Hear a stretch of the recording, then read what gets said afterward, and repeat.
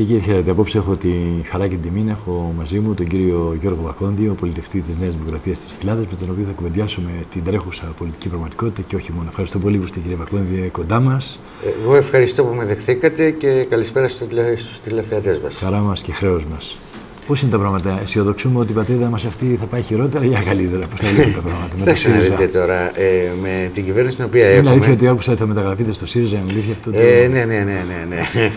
ε, ξέρετε κάτι, ε, μπορεί να αστειευόμαστε, αλλά τα πράγματα δεν είναι καθόλου αστεία. Ε, με αυτή την κυβέρνηση. Και θα γίνονται, θα γίνονται και όλο και λιγότερο αστεία. Με αυτή την κυβέρνηση κάθε μέρα κάτι ανακαλύπτουμε. Ε, Ποιος θα περίμενε ε, να ανακοινώσει ένας πρόεδρος Δημοκρατίας, ο Ολάντ, ότι ο Πούτιν ε, τότε που ο κύριος Τσίπρας έκανε δημοψηφίσματα ε, αναζητούσε τρόπο εκτύπωσης δραχμών. Το διέψευσε, λέει, καλά που δεν το ναι, διέψευσε. Ξέρετε κάτι, ο πρόεδρος της Ρωσίας και ο πρόεδρος της Γαλλίας δεν θα έμπαιναν στη διαδικασία να ε, συζητούν τέτοιες περιπτώσεις και εν πάση περιπτώσει να δημοσιεύονται και να φτάνουν σε, στο πανευρωπαϊκό κοινό αν δεν είχαν ελεγχθεί. Τώρα όλοι τα ξέρουμε και βεβαίως όπως ξέρετε και ο κύριος Βαρουφάκης ο άλλος αστέρας εκείνης της εποχής βγήκε και είπε δεν το αποκλείω, δεν το ξέρω, εγώ δεν συμμετείχα σε εκείνη τη συζήτηση αλλά δεν ξέρω τι ελέγχθη. Είπε, είπε όμως και ο κύριος Βαρουφάκης ότι είμαστε μια χρεοκοπημένη χώρα. Ναι, ωραία. Αυτά τώρα ξέρετε ε, η ζημιά από τότε έγινε. Όλοι ξέρουμε τι συνέβη. Ε, η Ελλάδα οδηγήθηκε σε ένα τρίτο μνημόνιο, το οποίο δεν χρειαζόταν καθόλου. Αυτό θα μας κοστίσει περίπου 80 δις ευρώ. Ε, άμεσα χάθηκαν περίπου 25 δισεκατομμύρια ευρώ από την περιουσία των Ελλήνων που ήταν οι τράπεζες στο ποσοστό των ε, τραπεζών που ανήκαν στο ελληνικό δημόσιο. Θα θυμάστε ότι πριν τις εκλογές εδώ σε αυτό το τραπέζι, το φιλόξενο τραπέζι, είχα μία διαμάχη με τους, εκπρόσω, με τους εκπροσώπους ε, του ΚΚΕ και του ΣΥΡΙΖΑ που μιλούσαν για τραπεζίτες και τους έλεγα παιδιά σήμερα που μιλάμε οι τράπεζες ανήκουν στον ελληνικό λαό γιατί ανήκουν στον ελληνικό δημόσιο κατά πλειοψηφία. Ε, τότε βεβαίως τα παιδιά δεν ήταν ενδεχομένως και πολύ ενημερωμένα. Σήμερα όμως ε, ξέρουμε τι έχει συμβεί, 25 δισεκατομμύρια ευρώ κάνανε φτερά και βεβαίως θεωρώ ότι κάποια στιγμή θα αναζητηθούν και ευθύνες ε, για αυτή την κατάσταση. Δεν με βρίσκεται καθόλου αισιόδοξο ε, για πάρα πολλούς λόγους. Ε, ο τουρισμός δεν πήγε τόσο καλά όσο θα έπρεπε να πάει. Ε, μπορεί οι αφήξεις να πήγανε σχετικά καλά, αλλά υπήρξαν ολόκληρες περιοχές λόγω μεταναστευτικού ε, που επλήγησαν ιδιαίτερως και αυτές, στο Ανατολικό Αιγαίο και αυτές οι περιοχές, αυτοί οι άνθρωποι που κατοικούν σε αυτές τις περιοχές της Ελλάδος θα υποφέρουν το χειμώνα όπως καταλαβαίνετε και από την άλλη μεριά όμως και στο σύνολο της Ελλάδος ο τουρισμός δεν πήγε καλά από πλευράς πράξεων. Δηλαδή ε, ήρθαν στην Ελλάδα κόσμος ο οποίος όμως δεν είχε χρήματα και δεν ξόδεψε χρήματα. Ε, Προφανώς το ρόλο του έχουν παίξει και τα capital controls και όλες αυτές οι διαδικασίες. Δεν είμαι αισιόδοξος. Τώρα μπροστά μας έχουμε την δεύτερη αξιολόγηση του τρίτου μνημονίου του ΣΥΡΙΖΑ. Ε, εγώ δεν θέλω να λέω τι λέμε εμείς γιατί πιστεύουμε, απλώς θα πω τι είπε ο κύριος Σταθάκης προχθές ακριβώς. Ο κύριος Σταθάκης είπε, εάν τον Δεκέμβριο δεν κλείσει η δεύτερη αξιολόγηση, δεν υπάρχει τρόπος να προχωρήσει η Ελλάδα. Ε, να δούμε τι άλλο έχουν στο μυαλό τους ε, και από εκεί και πέρα εδώ θα είμαστε να τα ξανασυζητάμε. Υπάρχει περίπτωση να απομειωθεί το χρέος μας. Κοιτάξτε, αυτό νομίζω ότι και ο πρόεδρος της Βουλής... Θα το θεωρούσε μεγάλη επιτυχία βέβαια ναι. αυτό. Το και ο πρόεδρος της Βουλής που προέρχεται από το ΣΥΡΙΖΑ και ο κύριος Δραγασάκης, ο οποίος είναι ο άνθρωπος που ήταν επί του προγράμματος των οικονομικών του ΣΥΡΙΖΑ και βεβαίως κορυφαίος υπουργός και κορυφαίος τέλεγος. Οι ίδιοι από μόνοι, από μόνοι τους έκαναν δηλώσεις και είπαν ότι δεν είναι δυνατόν να γίνει απομείωση του χρέους. Απομείωση του χρέους δεν μπορεί να γίνει τεχνικά. Εκείνο το οποίο μπορεί να γίνει και είναι αυτό που συζητούσε ο Σαμαράς. Αλλά εν πάση περιπτώσει με την αδημονία του ΣΥΡΙΖΑ να καταλάβει την εξουσία όλα πήγανε πίσω. Γιατί σας θυμίζω το Νοέμβριο του 12 αυτά που θα πω τα είχε κερδίσει ο Σαμαράς. Εκείνο το οποίο και μπορεί να γίνει ακόμα είναι να γίνει αυτό που λέμε στα οικονομικά reprofiling του χρέους της Ελλάδας που τι σημαίνει αυτό; Να διευθετηθούν και να είναι πιο βολικές οι λήξεις των ομολόγων να συζητηθεί ενδεχομένως το επιτόκιο όχι τόσο πολύ στο να μειωθεί διότι δανειμοζόμαστε με τα χαμηλότερα επιτόκια ε, που υπάρχουν ε, στην Ευρώπη αλλά κυρίως να δούμε αν υπάρχει δυνατότητα αυτό το χαμηλό επιτόκιο αποκειμενόμενο να γίνει σταθερό ώστε να μας διασφαλίσει σε βάθος χρόνου ε, και νομίζω ότι αυτές είναι οι βασικές ρυθμίσεις που μπορούν να γίνουν με το χρέος. Αυτά όλα θα είχαν γίνει και τώρα είμαστε σε μια διαδικασία που από τη μία μεριά ο ΣΥΡΙΖΑ λέει ότι θέλει να γίνει μέχρι τέλος του χρόνου. Ε, οι Αμερικάνοι λένε ότι μέσω του Δουνουτού λένε ότι και αυτοί θα θέλανε να γίνει κάτι με το ελληνικό χρέος. Οι Ευρωπαίοι όμως λένε ότι και στους Αμερικάνους και στον ε, ΣΥΡΙΖΑ ότι εμείς που πληρώνουμε, δηλαδή η Γαλλία, η Γερμανία και τα άλλα ευρωπαϊκά κράτη, εμείς θα αποφασίσουμε τι θα γίνει με το χρέος της Ελλάδας. Όλα αυτά θα τα είχαμε τελειώσει, δυστυχώς ξαναβρισκόμαστε εκεί που ήμασταν. Με τα κόκκινα δάνεια τι γίνεται με τα κόκκινα δάνεια; Κοιτάξτε, είναι περίπου 100 δις, δηλαδή το, το μισό του έπρεπε. Ναι. Ε, εντάξει, τώρα το, το πόσο ακριβώς είναι θα το δούμε. Διότι ξέρετε υπάρχουν κόκκινα δάνεια τα οποία οφείλονται στην αδυναμία των δανειζομένων να πληρώσουν. Υπάρχουν και κόκκινα δάνεια τα οποία ε, είναι, ε, οφείλονται σε μια διαδικασία άρνησης πληρωμής από επιχειρήσεις και οφειλέτες και φυσικά πρόσωπα οφειλέτες που έχουν τη δυνατότητα να πληρώσουν. Το σίγουρο είναι και εν πάση περιπτώσει αυτό ε, λίγο πολύ όλοι το έχουν παραδεχθεί ότι πρέπει να γίνει ε, μία ε, σημαντική εκαθάριση του χαρτοφυλακίου των τραπεζών ώστε οι τράπεζες να αφιερωθούν, να απελευθερωθούν και να αφιερωθούν στην πραγματική οικονομία. το πώς θα γίνει αυτό λίγο πολύ το ξέρουμε, το έχει προχωρήσει ο ΣΥΡΙΖΑ, θα πουληθούν σε αυτά που λέγονται hedge funds στην διεθνή οικονομική αγορά ε, κάποιοι εδώ, ο ΣΥΡΙΖΑ δηλαδή, συνήθιζε να τα λέει κοράκια των αγορών. Ε, εκείνο που εγώ περιμένω να γίνει σαν άνθρωπος της αγοράς είναι ότι τα hedge funds δεν θα δώσουν στην αρχή σημασία ε, σε μικρά δάνεια, στεγαστικά ή καταναλωτικά. Ε, αυτοί λειτουργούν με ένα λίγο διαφορετικό τρόπο ε, επειδή αγοράζουν μεγάλο αριθμό δανείων και τον αγοράζουν σε χαμηλή τιμή και υπολογίζουν από το μέσο όρο εισπραξιμότητας που θα επιτύχουν να βγάλουν και κάποιο κέρδος, ε, νομίζω ότι θα επικεντρωθούν σε πρώτη φάση ε, σε επιχειρηματικά δάνεια. Αυτό όμως ενέχει ένα κίνδυνο. Οι επιχειρήσεις που θα περάσουν στα hedge funds, όπως καταλαβαίνετε, ε, πολλές από αυτές θα κλείσουν. Διότι αυτοί θα θέλουν να ρευστοποιήσουν οποιαδήποτε ε, στοιχεία ε, έχει κάθε επιχείρηση, όποια assets έχει κάθε τέτοια επιχείρηση. Πολλές λοιπόν από τις επιχειρήσεις θα τις κλείσουν και πολλοί κόσμοι θα χάσει τη δουλειά του, θα βαθύνει η ανεργία, θα βαθύνουν τα προβλήματα στην αγορά και πάει λέγοντας. Ε, άρα, δεν φοβάμαι τόσο πολύ στο άμεσο άμεσο μέλλον ε, τα hedge funds να επιτεθούν σε στεγαστικά δάνεια ή δάνεια που αφορούν ε, τον μέσο πολίτη, αλλά αυτό θα έρθει σε δεύτερο, σε δεύτερο χρόνο. Σε πρώτο χρόνο θα έχουμε κάποια άλλα θέματα να δούμε. Σίγουρα όμως οι τραπέζες δεν μπορούν να προχωρήσουν ε, με κανέναν άλλο τρόπο και αν η αγορά δεν ε, ανακάμψει, αν η οικονομία δεν πάρει μπρος, συνεχώς θα έχουμε και περισσότερα κόκκινα δάνεια. Το ξέρουμε όλοι. Ο κ. Μητσοτάκης, ο καινούριο ηγέτης τη Νέας Δημοκρατίας, ζητάει επίμονα, ειδικά τώρα τελευταία, εκλογές. Τι θα πετύχει, δηλαδή, θα έχει το μαγικό ραβδί και θα τα. Ναι. Θα, θα, θα, θα τραβήξει τους επενδυτές; Εγώ είμαι πιο ωραίος, πιο δυνατός. Λοιπόν, θα τελειώσει και τα το Χάρβαρντ και τα λοιπά. Μιλάτε σε μένα; Όχι, όχι, όχι.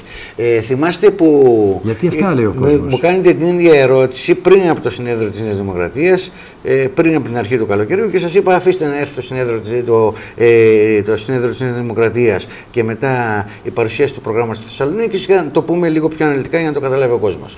Να σας πω τώρα τι συμβαίνει. Καταρχάς, πρέπει να γίνονται εκλογές. Κανονικά σε κάθε πολιτισμένο κράτος, που όμως βγαίνουν σοβαρές κυβερνήσεις, οι κυβερνήσεις θα έπρεπε να εξαντλούν τη θητεία τους. Έχουν κόστος εκλογές; Προφανώς και έχουν ένα κόστος εκλογές. Εκείνο το οποίο λέμε εμείς και το λέει και ο πρόεδρος μας είναι ότι το μικρό κόστος, εφάπαξ κόστος των εκλογών είναι μικρότερο από το κόστος της παραμονής τους ΣΥΡΙΖΑ στην εξουσία. Τι μπορεί να αλλάξει; Ε, μπορούν να αλλάξουν αρκετά πράγματα.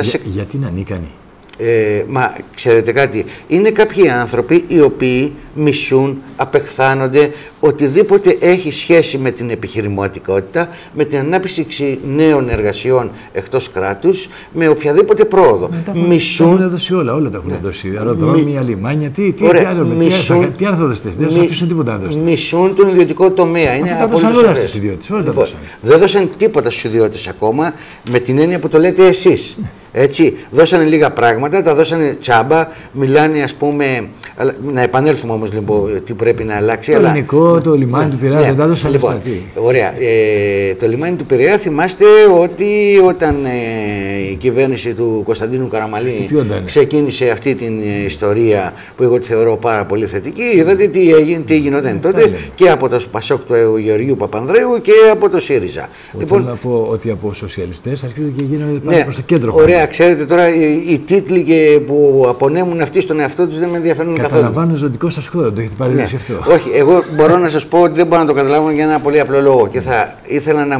να πούμε ε, τι μπορεί να αλλάξει μετά τις εκλογές λοιπόν, ε, με κυβέρνηση Νέας Δημοκρατίας για να το καταλάβει και ο κόσμος. Ε, ξέρετε τι συμβαίνει. Σήμερα έχουμε ένα μεγάλο πρόβλημα. Δεν κινείται η αγορά, έχουμε μια τεράστια ανεργία, ε, δεν υπάρχουν επενδύσεις, και βρισκόμαστε σε μια φάση αυτό που λέγεται οικονομικά στάσιμο πληθωρισμού. Όσο και αν φαίνεται περίεργο, ο μέσος όρος των τιμών κάθε μέρα κατρεκλάει προς τα κάτω. Αυτό δεν είναι υγιές. Σας θυμίζω ότι και ο Ντράγκη έκανε την ποσοτική χαλάρωση αποκλείοντας βεβαίως την Ελλάδα του Τσίπρα ε, στο, στο σύνολο της Ευρώπης, διότι όλοι οι οικονομολόγοι συμφωνούν ότι πρέπει να υπάρχει ένας μικρός πληθωρισμός της τάξης του 2%. Αυτό είναι υγιές. Ερχόμαστε λοιπόν ε, στο τι πρέπει να γίνει. Πρέπει να υπάρξει ένα σοκ επενδύσεων. Γιατί πρέπει να γίνουν επενδύσεις; Πρέπει να γίνουν επενδύσεις για να βρει καινούριος κόσμος δουλειά. Ναι, γιατί δεν κάνουν τις επενδύσεις τώρα επί, επί ΣΥΡΙΖΑ. Μισό λεπτό, μισό λεπτό, θα το εξηγήσουμε. Όταν θα βρει ο καινούριος κόσμος δουλειά, προφανώς ο καινούριος κόσμος θα φορολογηθεί στα καινούργια εισοδήματα, στον καινούριο πλούτο που θα παράγει και οι επιχειρήσεις θα φορολογηθούν αλλά και οι εργαζόμενοι και ταυτόχρονα οι ασφαλιστικές εισφορές θα ενισχύσουν τα ασφαλιστικά μας ταμεία τα οποία και αυτά είναι έτοιμα να καταρρεύσουν. Το θέμα λοιπόν είναι γιατί δεν γίνονται αυτές οι επενδύσεις. Και όχι μόνο γιατί δεν γίνονται επενδύσεις νέες, αλλά κάθε χρόνο, αν δείτε, ο δείκτης των ε, επενδύσεων είναι χαμηλότερος από την προηγούμενη χρονιά. Είναι πάρα πολύ απλό. Με αυτή την κυβέρνηση, κανένας ξένος επενδυτής αλλά ακόμα και Έλληνας επενδυτής δεν ε, αποφασίζει να ρισκάρει τα λεφτά του. Δεν θέλει κανένας να επενδύσει στην Ελλάδα. Κάποιοι νομίζουν ότι παίζει μόνο ρόλο το φορολογικό. Το φορολογικό είναι ένα πράγμα. Και θα δώσω ένα παράδειγμα. Τι φορολογικό έχουμε σε σχέση με το ασφαλιστικό. Ας πούμε ότι ερχόταν ένας καινούριος επενδυτής στη ΣΥΡΑ έφτιαχνε μια επιτυχημένη δουλειά, δεν ξέρω τι μπορείτε να αυτή, ένα εστιατόριο, ένα ε, ξενοδοχείο, κάτι. Και έβγαζε, κατόρθωνε, ήταν πολύ επιτυχημένος και κατόρθωνε την πρώτη χρονιά να βγάλει 100.000 ευρώ. Κέρδος, όχι τζίρο, κέρδος. Ξέρετε ότι οι ασφαλιστικές εισφορές και η φορολογία του θα ήταν 110.000 ευρώ. Άρα το φορολογικό είναι ένα. Το δεύτερο είναι ότι η κυβέρνηση αυτή είναι εχθρική σε κάθε επένδυση. Ο κύριος Κουρλέτης έκανε γυμνάσια στους Καναδούς που επενδύουν στη Χαλκιδική. Ο κύριος Κουρλέτης κάνει γυμνάσια με τους επενδυτές που ενδιαφέρονται για τη, για τη ΔΕΣΦΑ ή για την ΑΔΜΙΑ. Ε, ο κύριος ε, Υπουργός ε, Πολιτισμού ενώ ξεκινάει μια τεράστια επένδυση, τουριστική επένδυση στη Ρόδο τους κάνει γυμνάσια ε, με κάτι υποτιθέμενους χώρους ε, αρχαιολογικούς που μπορεί και να υπάρχουν αλλά δεσμεύει μια έκθεση 400 στριμμάτων στον επενδυτή. Σας θυμίζω ότι κάτι ανάλογο θέμα ε, τέθηκε και στην επένδυση του ελληνικού. Και βεβαίως, όσο καθυστερεί το ελληνικό με τέτοια τερτύπια, γιατί δεν θέλουν να χωνέψουν ε, οι Σιριζέοι, οι βουλευτές και οι υπουργοί ότι πρέπει να γίνουν κάποιες επενδύσεις, δεν θα βρίσκει ο κόσμος δουλειά. Διότι στο ελληνικό προβλέπεται να δουλέψουν δεκάδες χιλιάδες άνθρωποι. Άρα λοιπόν το φορολογικό μας είναι ένα. Το δεύτερο είναι οι τράπεζες. Φαντάζεστε τι ωραία που είναι να έρθει κάποιος επενδυτής και να πει: Εγώ θα πάω σε αυτή την τη χώρα να επενδύσω τα λεφτά μου, θα πάω τα λεφτά μου σε αυτή τη χώρα, να τα επενδύσω. Εάν επιτύχω και αν κερδίσω, θα με περιορίζουν τα capital controls να ξαναβγάλω τα λεφτά μου έξω.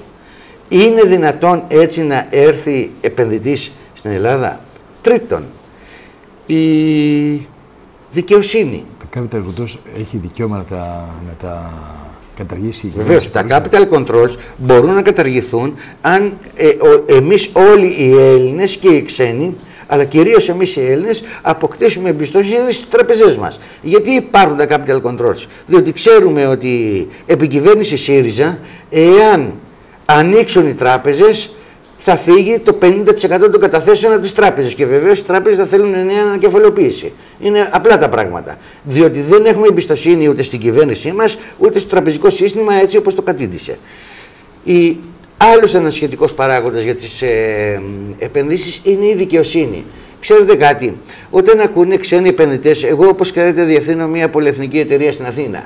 Όταν λέω λοιπόν στα αφεντικά μου ότι έχουμε μία δίκη που αφορά την εταιρεία, διότι έχουμε μία διαφορά με έναν πελάτη μας ή με έναν προμηθευτή μας και μας παίρνει περίπου 10 χρόνια για να πάρουμε μία τελεσίδικη απόφαση δικαστηρίου καταλαβαίνετε ότι δεν θα πλησιάσει και γι' αυτό το λόγο κανένας επενδυτής. Διότι αυτοί έχουν μάθει να λειτουργούν θεσμικά. Εάν έχουν μία διαφορά, απευθύνονται στου δικηγόρους τους και με τους δικηγόρους στα δικαστήρια και πάνε να λύσουν τη διαφορά τους. Και όταν οι διαφορές κάνουν να λύνονται δεκαετίες ολόκληρες, ε, όπως καταλαβαίνετε, υπάρχει άλλο ένα μεγάλο πρόβλημα. Άρα, τι λέει ο Κυριάκος Μητσοτάκης; Ο Κυριάκος Μητσοτάκης λέει δύο πράγματα, δύο πακέτα.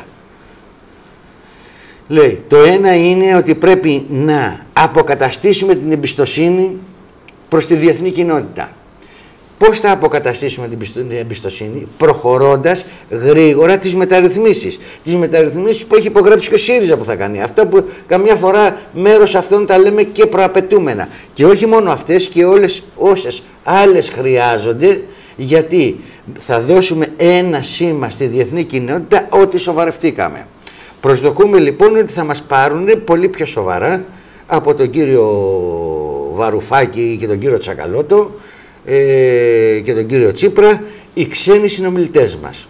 Εκεί λοιπόν ερχόμαστε και λέμε δύο πακέτα. Λέμε μείωση των φόρων κάτι λιγότερο από δύο δις για να βοηθηθεί η οικονομία και να πάρει μπροστά και θα σας πω ποια, ποια θα είναι αυτή η μείωση των φόρων. Θα είναι 30% μείωση του έμφυα σε δύο χρόνια και μείωση κατά 9 μονάδες από το 29% στο 20% ο φόρος από τον κερδών των επιχειρήσεων. Τι προσπαθούμε να κάνουμε αυτό το πράγμα; Αλαφρώνοντας, τον έμφυα, ε, αλαφρώνοντας κατά 30% τον έμφυα, ε, τα λεφτά που πηγαίνουν στον έμφυα θα πάνε στην ιδιωτική κατανάλωση. Διότι η οικογένεια αυτά τα λεφτά τα χρειάζεται για, τα, για τα... να καταναλώσει. Στο σούπερ μάρκετ, στο εμπορικό κατάστημα, στο μπακάλι, στο μανάβι, στο οπουδήποτε. Σήμερα τα στερεί από την αγορά η οικογένεια για να πληρώσει τον έμφυα. Άρα εκεί θα δώσουμε με τη μείωση του έμφυα ε, μία ε, θα πυροδοτήσουμε μία μικρή αρχή στο να κινηθεί λίγο καλύτερη η αγορά. Ταυτόχρονα με μείωση του φόρου των επιχειρήσεων κατά 20% ε, θα κάνουμε, γιατί συζητήσαμε τι συμβαίνει με τη φορολογία των επιχειρήσεων, θα κάνουμε πιο δελειαστική την Ελλάδα σε νέους επενδυτές. Θα προσπαθήσουμε να φέρουμε τις δεκάδες χιλιάδες ελληνικές επιχειρήσεις που πήραν την έδρα της από την Ελλάδα και την πήγαν στη Βουλγαρία. Και όχι μόνο. Έτσι. Ή στην Κύπρο. Δεν έχει καμία σημασία. Ε, άρα για να γίνουν αυτά τα δύο πράγματα θα πρέπει να βρεθούν τα ισόποσα λεφτά. Τα ισοδύναμα τα λεγόμενα. Αυτά τα ανακοίνωσε ο πρόεδρος. Και δεν είναι όλα ευχάριστα. Να σας πω δύο πράγματα τα οποία είναι δυσάρεστα εν μέρη. Αλλά θεωρώ δίκαια. Πρώτον, ε, δεν θα υλοποιηθούν οι αυξήσεις των δημοσίων υπαλλήλων που υπέγραψε ο ΣΥΡΙΖΑ για το πελατολογιό του. Ο ΣΥΡΙΖΑ τι έκανε, ενώ κόβει από τους πάντες και τα πάντα, υπέγραψε, ψήφισε νόμο για να έχουν μικρές αυξήσεις οι δημόσιοι υπάλληλοι τα επόμενα πέντε χρόνια. Λοιπόν, αυτό δεν θα υλοποιηθεί. Αυτά τα λεφτά θα πάνε για να μειωθεί ο έμφυα. Επίσης θα μειωθούν ε, οι, ας το πούμε, επιχορηγήσεις των ευγενών ταμείου, τύπου ΔΕΗ. Υπάρχουν κάποια ταμεία τα οποία έχουν κρατικές επιχορηγήσεις, τα οποία δεν έχουν άλλα ταμεία. Εγώ ανήκω στο ΙΚΑ, κάποια στιγμή θα έχω κι εγώ ανάγκη το ΙΚΑ. Το ΙΚΑ δεν, ε, δεν έχει τέτοιου είδους ε, ε, επιχορηγήσεις, εννοώ αναλογικά σε σχέση με τον αριθμό των εργαζομένων που έχουν αυτά τα ευγενή ταμεία. Άρα λοιπόν, να και κάτι άλλο που δεν ακούγεται σε μια ομάδα συμπολιτών μας ευχάριστα. Θα μειωθεί κατά 50% η χρηματοδότηση μέσω της ΔΕΗ της ΕΡΤ και μια σειρά από άλλους τέτοιους παράγοντες και έτσι θα εξασφαλιστούν τα 1,9 δις για να κάνουμε αυτές τις δύο φορολογικές απαλλαγές και να βοηθήσουμε την αγορά αλλά και να βοηθήσουμε στο να μειωθεί η ανεργία σε πρώτο βαθμό για να είμαστε δελεαστικοί σε νέους ε, επενδυτές. Από εκεί πέρα κάνοντας αυτά θεωρούμε ότι θα είμαστε και πιο αξιόπιστοι συνομιλητές προς τους εταίρους μας. Και εκείνο το οποίο προσδοκούμε είναι να κερδίσουμε ένα πράγμα προς τους εταίρους δίνοντας κάτι άλλο όμως. Να ε, μειωθούν να δεχθούν να μειωθούν τα πρωτογενή πλεονάσματα από 3,5% σε 2% για μετά το 2018 και εμείς να τους υποσχεθούμε ανάπτυξη της οικονομίας, να τρέξουμε πάρα πολύ, ανάπτυξη της οικονομίας 4%. Ε, ε, θεωρούμε ότι εάν έχουμε ε, γίνει όλα τα άλλα και έχουμε δείξει τη σοβαρότητα την οποία πρέπει και έχουμε αποκτήσει την εμπιστοσύνη των ξένων, ε, νομίζουμε ότι θα το κερδίσουμε. Και από εκεί και πέρα βεβαίως θα γίνει και μια άλλη, άλλη σειρά από παρεμβάσεις, διότι αυτό το 1,5% του ΕΠ είναι αρκετά δισεκατομμύρια, είναι μερικά δισεκατομμύρια ευρώ. Ε, και νομίζω ότι θα μπορέσουμε να μιλήσουμε ε, πιο συγκεκριμένα και για τους συνταξιούχους και για τους μισθωτούς και για όλους. Άρα, δύο κομμάτια. Εμπιστοσύνη εμπιστοσύνη, κατάκτηση της εμπιστοσύνης από τις διεθνείς αγορές και από τους εταίρους μας, ταχύτητα στην υλοποίηση των μεταρρυθμίσεων για να κατοχυρώσουμε και να παγιώσουμε αυτή την εμπιστοσύνη, μείωση φορολογίας στα νοικοκυριά μέσω του έμφυα στις επιχειρήσεις μέσω της μείωσης της φορολογίας των κερδών, ε, πυροδότηση της ανάπτυξης της οικονομίας, να ξεκινήσει η οικονομία να γεννιέται και μετά με όλα αυτά στο καλάθι να πάμε να βρούμε τους πιστωτές και να πούμε ότι μετά το 18 θέλουμε κάτι άλλο να γίνεται. Ε, να ξέρουν οι, οι φίλοι που μας ακούν τι σημαίνει πρωτογενές πλεόνασμα. Ή μάλλον σε τι χρησιμεύει το πρωτογενές πλεόνασμα. Το πρωτογενές πλεόνασμα ε, χρησιμεύει για να πληρώνονται οι τόκοι των δανείων της Ελλάδας. Πρέπει να ξέρετε ότι επειδή πολλά ακούγονται κτλ. Ε, η Ελλάδα δεν πληρώνει τα δανειά της. Δεν αποπληρώνει το κεφάλαιο των δανείων της. Στόκους. Ε, τη ζητείτε μόνο να μπορεί να πληρώνει τους τόκους. Κανένας δεν ήρθε και δεν μας ενόχλησε και να μας, να μας πει ότι θέλουμε να εξοφλήσεις το ίδιο το κεφάλαιο του δανείου. Το δάνειο δανείς, ε, ε, εξυπηρετείται με νέο δάνειο και το πρωτογενές πλεόνασμα είναι για να πληρώνονται οι τόκοι.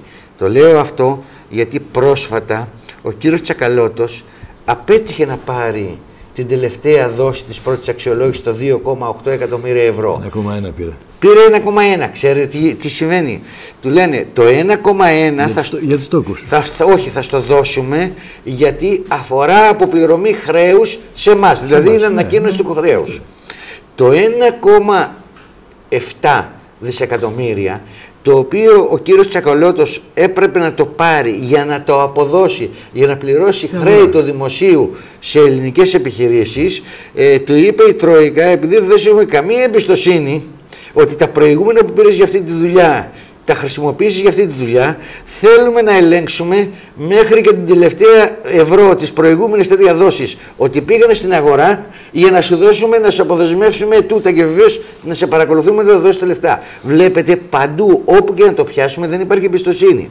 Βεβαίως, αυτό το 1,8 δις είναι μεγάλο πρόβλημα στην αγορά, διότι όπως καταλαβαίνετε υπάρχουν ε, επιχειρήσεις που κινδυνεύουν να κλείσουν γιατί τους χρωστάει το κράτος και βεβαίως αν κλείσουν αυτές οι επιχειρήσεις γιατί τους χρωστάει το κράτος θα μείνουν οι και θα έχουμε νέες στρατιές ανέργων και πάει λέγοντας. Αυτή είναι η κατάσταση. Κατά τα άλλα, ασχολιόμαστε με το καλογρίτσα, τις δηλαδή, άδειες, το πώς θα κλείσουμε τα κανάλια τα οποία μας ενοχλούν και πάει λέγοντας. Ελπίζω όταν θα έρθει η ώρα των περιφερειακών αδειών να μην βάλουν στο μάτι και εσάς. Και σκέφτομαι και το πόσο δημοκρατικό κανάλι είναι η, η ΕΡΤ τώρα. Ε, κοιτάξτε τώρα, η ΕΡΤ. Δηλαδή, είναι προκλητική δηλαδή αυτή η λειτουργία της. Ε, η ΕΡΤ υπό κανονικές συνθήκες ε, δεν θα έπρεπε ε, να υπάρχει. Εγώ, αν θέλετε, προσωπικά είχα μία, ξέρετε, μία διαφωνία με την απόφαση του Σαμαρά υπό την πίεση του Βενιζέλου να ξανανοίξει η ΕΡΤ έτσι όπως άνοιξε. Δηλαδή τι έγινε, η ΕΡΤ ήταν ένα φαύλο, διεφθαρμένο ε, καθεστώς και ο Σαμαράς πολύ καλά έκανε και το έκλεισε και αποσχολούσε και περίπου 4.000 υπαλλήλους και το έκλεισε. Προσέξτε τώρα τι συμβαίνει. Ξανανοίγει η ΕΡΤ, προσλαμβάνει 2.500 πρώτη φάση, 2.500 του οποίου πληρώνουμε εμείς, έτσι. Δικούς τη άνθρωπου. Οι Έλληνες φορολογούμενοι. Και ο κύριος Παπάς κάνει νόμο για να δώσει τις άδειες στα κανάλια που έχουν τη μεγάλη τη τηλεθέαση, αυτά που παρακολουθεί ο κόσμος, και λέει στον νόμο του ότι εγώ θεωρώ ότι μίνιμουμ, άρα αρκετό για να δουλέψει ένα κανάλι είναι 400 άτομα. Δηλαδή, ε, αναγνωρίζει ότι ένα σοβαρό μεγάλο κανάλι, ο Αντένα, ο Sky, ο Αλφα, όσοι πήγαν για τις άδειες, μπορεί να λειτουργήσουν με 400 άτομα, αλλά για την ΕΡΤ έχουμε ξεπεράσει ήδη τις 3.000. Ε, όπως καταλαβαίνετε αυτό το πράγμα δεν έχει σωτηρία. Εγώ ήμουν από τους ανθρώπους που έλεγα τότε ότι η ΕΡΤ έπρεπε να ξανανοίξει. Ναι, βεβαίως η ελληνική δημοκρατία έπρεπε να έχει και ένα κρατικό κανάλι, όχι τρία, όχι τέσσερα, όσα είναι τώρα, να ξανανοίξει και να είναι ανταγωνιστική προς όλα τα άλλα κανάλια. Και σε επίπεδο τηλεθέασης και σε επίπεδο εσόδων. Και να, χρημα... να έχει μια πολύ μικρή χρηματοδότηση από το κράτος και να μην επιβαρύνει τους Έλληνες πολίτες κάθε μήνα. Ε, δυστυχώς τότε, εάν δεν συνενούσε ο Σαμαράς να ξανανοίξει η ΕΡΤ με τον τρόπο που ήθελε το Πασόκ, θυμάστε ο Κουβέλης έφυγε θα έφευγε και ο Βενιζέλος και θα, ξα... θα έπεφτε η κυβέρνηση και θα μένουν τα πράγματα πάλι στη μέση. Οπότε έκανε την υποχώρηση ο Σαμαράς. Εγώ θεωρώ ότι δεν έπρεπε να γίνει αυτή η υποχώρηση. Και ας έπαιρνε ο Βενιζέλος την ευθύνη να ξαναρίξει την κυβέρνηση. Με τις κοιλάδες, πώς είναι το νόμος μας, οι κοιλάδες, είστε ευχαριστημένοι από, από τη ζωή των κατοίκων, από τις ε, επενδύσεις, από τον τουρισμό, από την ακτοπλοεία, όλα αυτά τα που απασχολούν τους νησιώτες, από την υγεία; Κοιτάξτε, ε, θα σας πω τα εξής. Εγώ νομίζω ότι ε, κάθε χρόνο είμαστε κάθε χρόνο και χειρότερα. Ε, τι θέλω να πω; Θέλω να πω ότι για τον τουρισμό τα είπαμε, οι πράξει ήταν πολύ χαμηλότερες. Ναι, κάποια νησιά είχαν αύξηση ε, προς, ε, προσελε, ε, αύξηση αφήξεων. OK, okay, αυτό το είπαμε. Όμως, γενικά ο τζίρος ήταν χαμηλό, πιο χαμηλός. Ε, αυτό δεν έχει όμως να κάνει μόνο με το τζίρο. Μην ξεχνάμε ότι για τα περισσότερα νησιά κάποια λίγα μένουν, αλλά ε, 1η Γενάρη του 2017 θα είναι και αυτή μέσα. Ε, τα περισσότερα νησιά είχαμε το αυξημένο ΦΠΑ. Έτσι, αυτό είναι ένα τεράστιο κόστος, ένα τεράστιο πρόβλημα. Όχι μόνο για τη ζωή των μόνιμων κατοίκων, διότι στο μπακάλι και στο μανάβι και ναι, στο ψάρα. Εγώ το χιλιάρικο που παίρνω τώρα από ναι. 1800 από 1000 ναι. μου μειώθηκε ένα, μου φάγανε εκατοστάρικο. Σα φάγανε, σας φάγανε ένα εκατοστάρικο το μήνα. Ναι. Εγώ το έχω απολύσει και λίγο παραπάνω, παραπάνω. Γιατί είναι και το ΦΠΑ στις μεταφορές, είναι και άλλα πράγματα ναι. κτλ. Σας φάγανε παραπάνω από περίπου 150 ευρώ στα χίλια με την αύξηση του ΦΠΑ. Αυτό λοιπόν έχει να κάνει με τους μόνιμους κατοίκους. Όμως υπάρχουν και επιχειρήσεις. Φάγανε και το ΕΚΑ στα γεροντάκια. Ναι. Έχει να κάνει με τις επιχειρήσεις. Α μείνουμε λίγο στον τουρισμό. Τίποτα στο μεγάλο κεφάλαιο. Ναι. Ε, Α μείνουμε λίγο στον τουρισμό. Μένουν επιχειρήσεις. Οι επιχειρήσεις με την αύξηση του ΦΠΑ γίνανε λιγότερο ανταγωνιστικοί. Στην κυβέρνηση δεν έχουν δουλέψει ποτέ στη ζωή τους και δεν καταλαβαίνουν τα πράγματα πώς λειτουργούν. Προσέξτε. Για να έρθει σε ένα νησί, χρειάζεσαι το ακτοπλοϊκό εισιτήριο. το οποίο έχει ένα κόστος. Ε, άρα, έχοντας φθηνότερες υπηρεσίες στη διατροφή, στην εστίαση δηλαδή και στη διαμονή το νησί, και γενικώ σε όλες τις τουριστικές ε, υπηρεσίες, γίνεται λίγο πιο ανταγωνιστικό. Ναι, μεν ο άλλος σου λέει θα πληρώσει το ακτοπλοϊκό εισιτήριο, αλλά εκεί είναι λίγο πιο φθηνά. Ε, εν πάση περιπτώσει είναι και πιο ωραία γιατί είναι τα κυκλοδονήσια που είναι διαμάντια στον παγκόσμιο χάρτη. Μπορεί να μου κοστίσει ελάχιστα λιγότερο με το ακτοπλοϊκό εισιτήριο και θα πάω. Τώρα ξέρετε τι λέει, εγώ που ζω στην Αθήνα, ένα μεγάλο μέρος του χρόνου μου. Ξέρετε τι λέει ο Αθηναίος. Θα πάρω το αυτοκίνητο, θα βάλω ένα τεπόζιτο βενζίνη, θα φτάσω στον Πλαταμόνα προς τα πάνω που είναι μια χαρά περιοχές, ή θα φτάσω στην Πελοπόννησο, ε, σε μια ωραία περιοχή. Θα κάνω τις διακοπές μου, αφού ούτως ή άλλως και αυτό το κέρδος που είχα από το να πηγαίνω στα νησιά το έχασα. Άρα γινόμαστε λιγότερο ανταγωνιστικοί. Λοιπόν, αυτό είναι λοιπόν το ένα. Το δεύτερο που θέλω να σχολιάσω είναι το θέμα της παιδείας. Ξέρετε, Λίγο πριν το καλοκαίρι γινόντουσαν οι πανελλαδικές εξετάσεις. Με πήραν από την απονοκό τηλέφωνο και μου είπαν ότι 7 αν θυμάμαι τον αριθμό παιδιά που φοιτούσαν στο ΕΠΑΛ δεν θα έχουν εξεταστικό κέντρο στην Αμοργό και τους στείλανε να γράψουν εξετάσεις στην Άξο. Ψάχνω να δω τι γίνεται και δεν διαπιστώνω. Δεν τους έχουν στείλει στη χώρα της Νάξο τα παιδιά να κάνουν εξετάσεις. Τους έχουν στείλει στο φιλότι μια ώρα με το αυτοκίνητο μακριά πάνω στο βουνό, να γράψουν τα παιδιά δηλαδή, να φύγουν από τον μοργό, να φτάσουν στην άξονα, να ταξιδέψουν άλλη μια ώρα, να φτάσουν πάνω στο βουνό στο φιλότι. Ωραίο το φιλότι, αλλά όχι για αυτή τη δουλειά. Για να, φτιάξουν, ε, ναι, ε, για να γράψουν ε, τα παιδιά της εκτάσεις του. Όπως καταλαβαίνετε, είναι δυνατόν τα παιδιά τα δικά μας. Εγώ, όπως ξέρετε, πήγα εδώ σχολείο, ένα μεγάλο μέρος. Ε, να είναι ε, να στέκονται εύκολα ανταγωνιστικά προς τα παιδιά άλλων περιοχών. Ε, όπως καταλαβαίνετε δεν είναι δυνατόν. Λοιπόν, το θέμα της παιδείας είναι ένα θέμα. Ε, και είναι ένα θέμα διότι γενικότερα η παιδεία, διότι με τον κύριο Φίλη που έχουμε μπλέξει, έχει μπερδέψει λίγο τα θρησκευτικά, τα ιστορικά, τα πολιτισμικά, τα θέματα αριστείας, τα έχει κάνει μια σούπα μες στο κεφάλι του και νομίζω ότι Μάλλον τον ενδιαφέρει ένα σχολείο που να είναι καλά οργανωμένο στις καταλήψεις ε, όταν θα έρθει η επόμενη κυβέρνηση παρά να γίνεται διδακτικό έργο. Ε, από εκεί και πέρα, ε, το ακτοπλοϊκό το οποίο, για το οποίο με ρωτήσατε, ε, έχω αρθρογραφήσει επανειλημμένα, έχω κάνει και σχετική εισήγηση στην, ε, στον τομέα ναυτιλίας της Νέας Δημοκρατίας. Εγώ πολύ φοβάμαι για το μέλλον.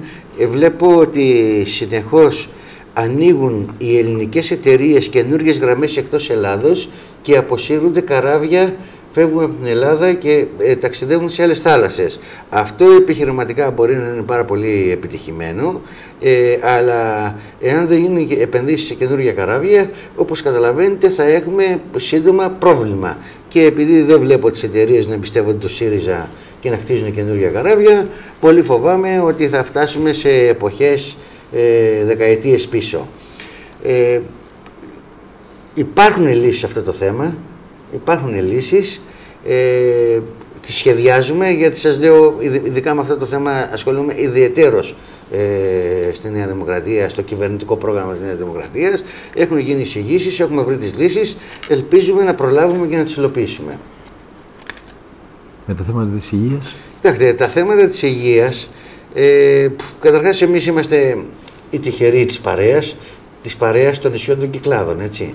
Ε, έχουμε το νομαρχιακό νοσοκομείο εδώ πέρα. Ο κύριος Πολάκης προχθές και μας υποσχέθηκε... Ναι, εντάξει, ο κύριος, μα, ε, μακάρι να γίνει. Εγώ θα σας πω